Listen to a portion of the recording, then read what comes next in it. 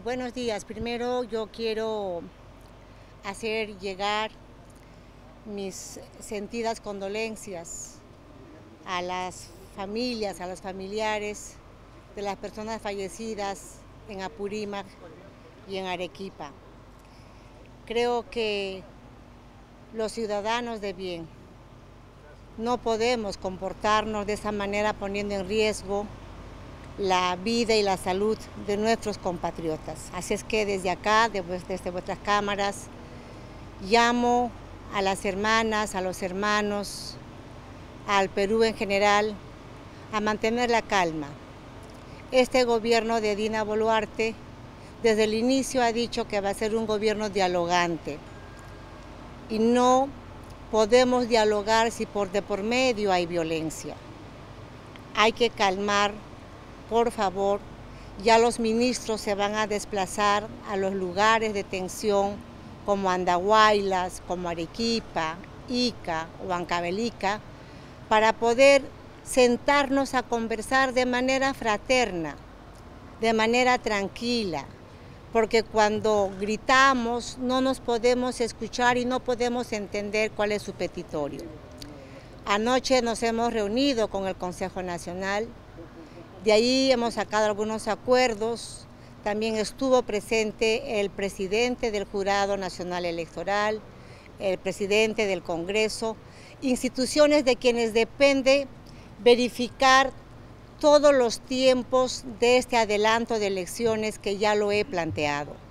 En consecuencia, legalmente los tiempos calzarían para abril de 2024. Sin embargo, haciendo reajustes, ayer conversando, esto se puede adelantar a diciembre del 2023, porque antes de esa fecha, hermanas, hermanos que dicen adelanto de elecciones, técnicamente, legalmente no calzaría. En consecuencia, los peruanos de bien, las hermanas y hermanos, hombres y mujeres, tenemos que mantenernos y caminar dentro del margen legal, dentro de la Constitución. Salir, salirse de esos marcos ya se convierte en ilegal. Por eso como presidenta de la República tengo que ser responsable y decir, en estos tiempos, que no depende de mí, sino del Congreso de la República y del ente electoral, en esos tiempos se va a llevar a cabo el adelanto de elecciones. Hoy día vamos a, estamos en reunión constante, ayer nos hemos, hemos eh, ya nombrado el gabinete de crisis, quienes están informándonos de manera muy eh, pertinente y en los tiempos precisos cómo se está movilizando la población en el Perú. Yo lo único que puedo decirles a ustedes, hermanas y hermanos, que mantengamos la calma. El Perú no puede desbordarse en sangre. Ya esa experiencia la hemos vivido en los 80s, en los 90s, y creo que no queremos volver a esa historia dolorosa que nos ha marcado la vida y el rostro de miles y miles de peruanos. Queremos la calma, queremos la paz y dentro de esa calma y paz pongámonos a conversar. Presidenta, pero no sé si usted es consciente de que eh, los violentos no tienen en agenda demandas políticas, quieren el caos. En ese sentido, primero se declaró la emergencia en Andahuaylas, reactivamente tuvo que pasar lo de Arequipa e Ica para, para también hacer lo mismo, pero ha pasado cosas en Cusco y en otras partes del país. ¿Por qué reaccionar reactivamente? Y si me permite también el tema de la policía.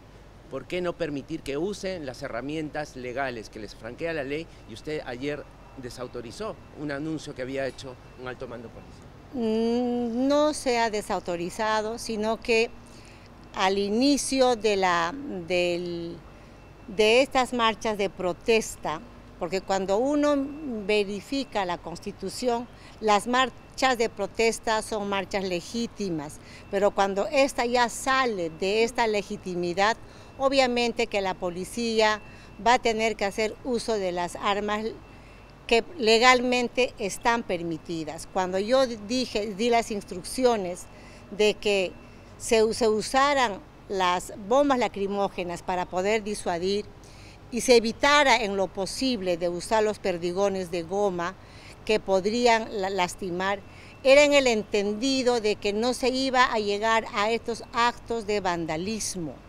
Pero yo creo de que la policía tiene que actuar en la medida de las posibilidades y con las herramientas que legalmente estén autorizados.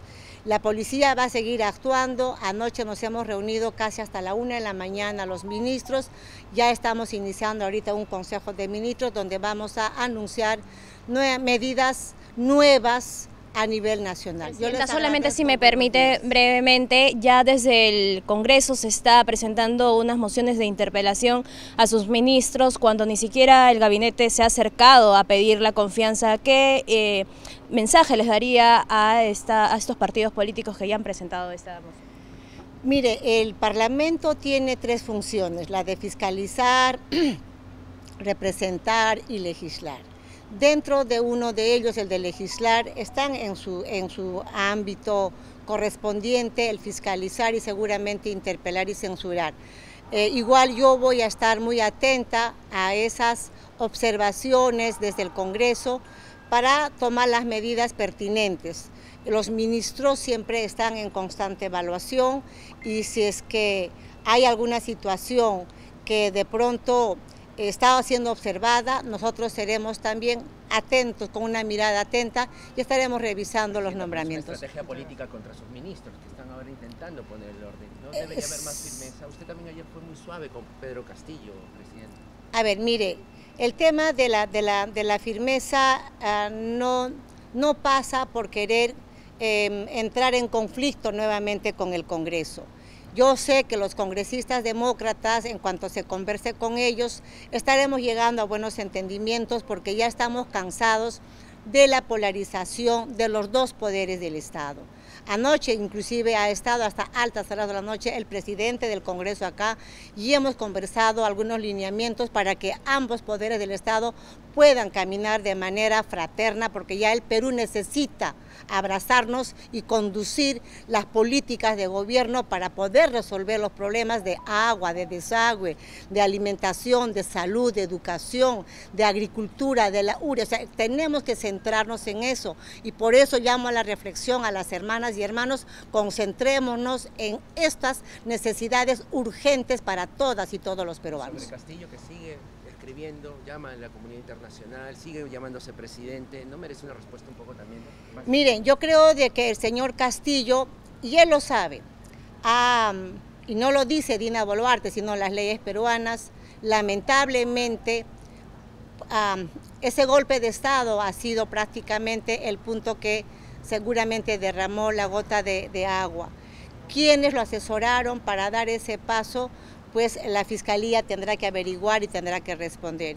Yo solamente quiero decirle al pueblo peruano, yo eh, he estado acompañando hasta donde pude aconsejar y recomendar para un gobierno de bien, hasta donde pude acompañé al expresidente Pedro Castillo, pero cuando ya no puedo acompañar más eh, y, está él rodeado de otras personas, tampoco yo podía, podía responder de los últimos, responder de manera clara ante la población peruana de, lo, de, los, de las decisiones finales que ha podido tomar el expresidente Pedro Castillo.